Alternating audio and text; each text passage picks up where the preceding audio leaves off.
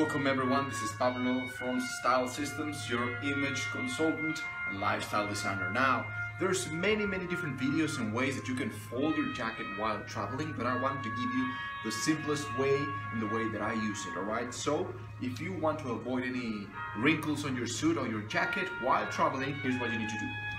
You need to grab the both shoulders and then you're gonna put one shoulder onto the other one, alright? So you need to bring it like this. I don't know if you can see it.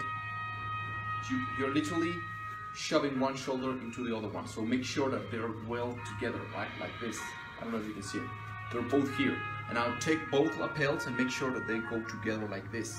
They stay up, alright? I don't know if you can see it.